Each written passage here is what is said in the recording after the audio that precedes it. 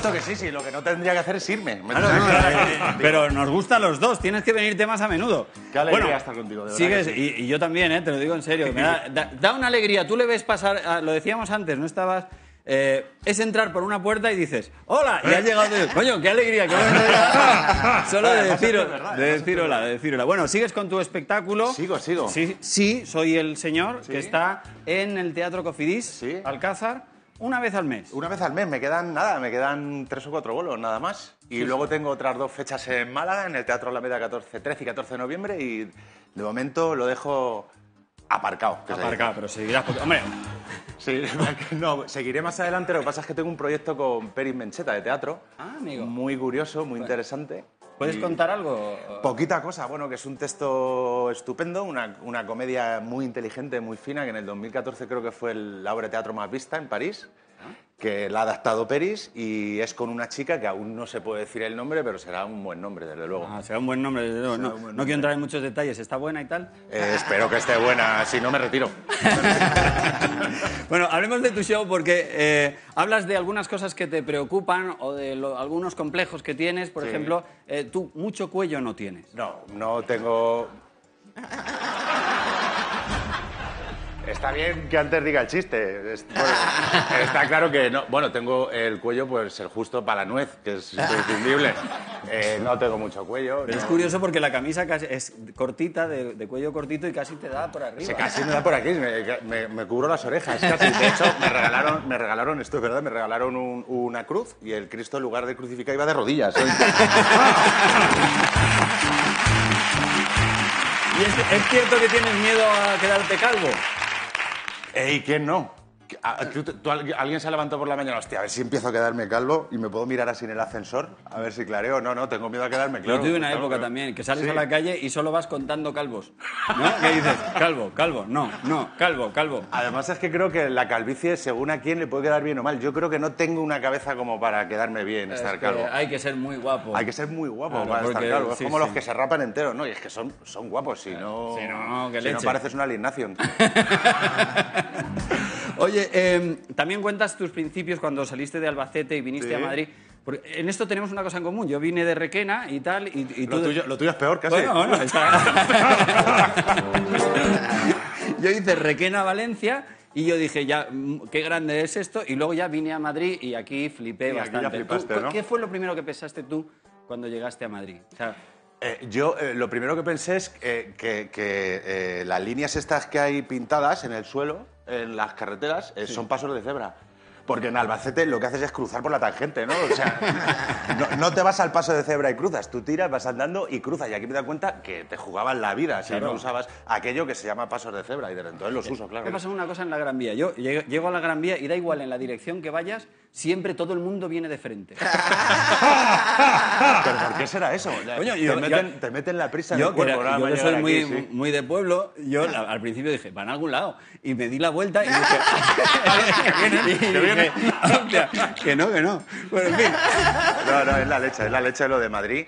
Es eh, eh, lo que te cambia el concepto de, de la vida, ¿no? Hablemos de la fama de, de Amador, que es espectacular, y eh, hasta qué punto llega. ¿Es cierto que has salido en alguna ocasión disfrazado de tu casa?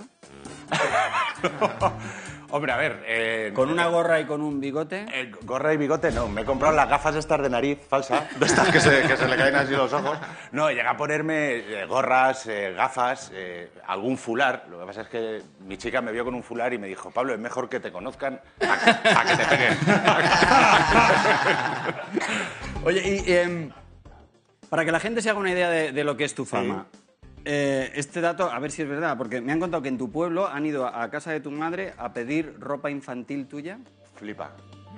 Pero así, o sea, eh, chavales que llamaban ahí a la puerta en el pueblo, en Ayora, el pueblo de mis padres, eh, se encuentran cinco chiquillos en la puerta, esto no me lo invento, ¿eh?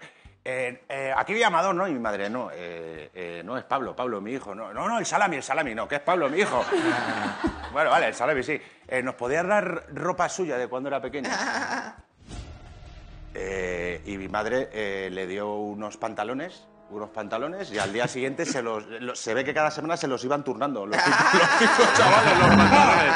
Algo increíble. Menos mal que no le dio la falda. Oye, y acabas de ser padre, ¿no? Acabo de ser padre. Te has cambiado... Buena. Sí, sí, sí. Señor. ¿Quién me iba a decir que, que- que tengo un salami funcional? Sí, Has pasado de los tangas y los pezones a los pañales y las tetinas, ¿no? Pues así, ese ha sido el recorrido. ¿Y qué tal? nada, ¿Da, da meses. material? ¿Da material? Da material y sueño, las dos cosas.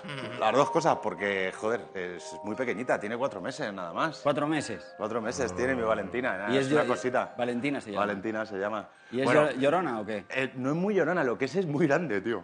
Muy grande. Muy, muy grande. Está por encima del percentil. Yo creo que igual ahora llego a casa y ya me pide para tabaco.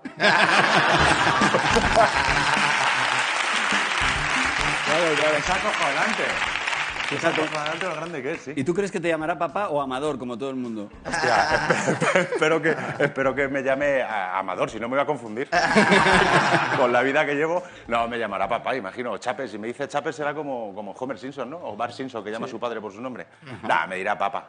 Papa. Hablando de, hablando de padres, los tuyos no tenían mucha confianza en que tú fueses capaz de ligar. Ni- bueno, Eh, mi- los míos no tenían mucha confianza en nada, en general conmigo. Pero en lo de ligar sí, no tenía Te mucha. regalaron una colonia Sí. que ponía en la colonia colonia para ligar. Colonia para ligar, eh, colonia para... Aparte esto fue en la peor época, en la época esta que tienes pues 15, 16 años, Uf. que empiezas a querer gustar y yo esperaba una buena colonia, ¿no? Porque vi que era una colonia por el tarro clarísimamente, pero cuando la de- desenvolví vi, vi que aparecía un- un- un- la figura, un dibujo de un tío horrible y, y ponía colonia para ligar. Y ponía, hasta yo ligué hace dos años. que yo digo, pero bueno, y es cuando dije, me voy a hacer actor y le oye, vamos, voy aquí. ¿Pero te, la- te la pusiste alguna vez o nunca? Sí, me la puse y, y no atraje mujeres. No, no, pero moscas sí, ¿no? Moscas sí, Moscas moscas sí. sí. Pero el momento más humillante de tu infancia, o uno de los más humillantes, es cuando eh, falsificaste las notas de música. Pero ¿cómo sabes esto, tío? No, no fueron de música. ¿No fueron de música? ¿De qué No, fueron? no, fueron del instituto. ¿Qué- ¿Cómo fue? instituto. Cuéntanos, cuéntanos. No, a ver, la historia es que en el instituto que yo iba te daban un boletín de notas, ¿no? Entonces, eh, cada, cada, asignatura, cada asignatura llevaba una hoja. Entonces yo lo que hacía cuando me había ido, cuando me había ido mal en, eh, esa semana, porque eran semanales además, o sea, cada fin de semana tenías eh, Guau. el beneplácito, el castigo de cómo hubiera ido. Yo me metía en el baño, quitaba las las las estas, la grapa- las grapas y quitaba la hoja que, en la que había ido mal. Hasta que un día me di cuenta que me quedaba una solo. me quedaba la de plástica. No, el tema es que una vez haciendo todo ese montaje en el baño, empieza mi madre, Pablo, Pablo, sal de ahí. Y yo, ¿cómo? Y no se me ocurre otra cosa, que ya lo tenía todo, ese- todo abierto ahí, que abrir la puerta, hacer como que me tropezaba y hacer ay, ay, ay, que se me caían las hojas. me había escondido la otra, me pillaron, llamaron a la profesora, se enteraron de todo y te Pero habría que obviamente. perdonarte. Esa idea de hacer como que te caes es Bueno, brillante, bueno, hombre. pero aparte es que no había ni escalón, o sea, me tropecé con nada, conmigo mismo, con un chorradón que ahora lo hubiera hecho de otra manera, pero bueno, ¿Y tienes- ahora hubiera estudiado. Claro, ahora, ahora te Ahora pasas lo la vida estudiando. Joder, yo que me metí a esto para no, Para no estudiar. pegar golpes, sí, sí. Y ahora no paro, macho. ¿Y tienes hermanos? Tengo dos hermanos. Tengo a mi hermano Carlos, que es muy cabrón. no, que, lo- que es, eh, lo- con los dos tengo muy buena relación. Que Carlos el mayor, pues me ha hecho muchas perrerías, pero es un cachondo el tío. Y luego está mi hermana Rosana, que es también muy graciosa y a la que quiero mucho también. ¿Qué, qué putadas os hacíais de hermano? Joder, mi hermano me ha hecho perrerías de todo tipo. Mi hermano una vez eh, eh, se metió debajo de una cama, yo dormía en una cama de estas plegables. Y, y- y el, y el cachondo eh, podía aguantar escondido debajo de la cama hasta que yo me durmiera, que no soy de dormir fácil, a lo mejor 45 minutos ahí esperando, para en cuanto me dormía levantarme la cama y ¡ay, ay, ay! ay! Para el tío. A lo mejor si iba, estaba en la terraza de fuera y empezaba a rascarme, así, las, las per- las persianas.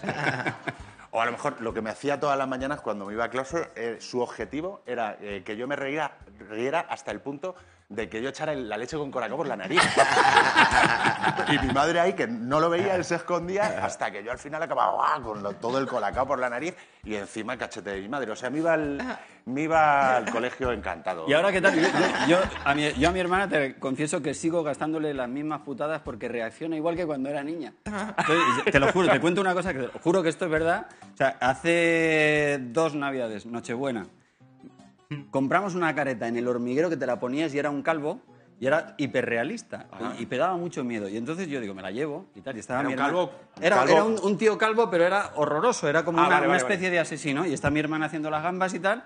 Y está ahí haciendo las gambas. Yo me pongo en la espalda y me pongo la careta y le digo, Pepa, tengo la cara rara, ¿qué coño me pasa? Y se da la vuelta y le dio un ataque. Se pensaba que yo era un extraterrestre. ro- rompió, tiró las gambas, salió corriendo, se estampó contra el cristal. Y mi cuñado diciéndole que es una careta y no reaccionaba. Y así se quedó, sin reaccionar, ¿eh? Me la tuve que quitar y luego se enfadó conmigo. En fin, gastarle putadas a vuestros hermanos. Es la, la sal de la vida. Volvemos en cuatro minutos.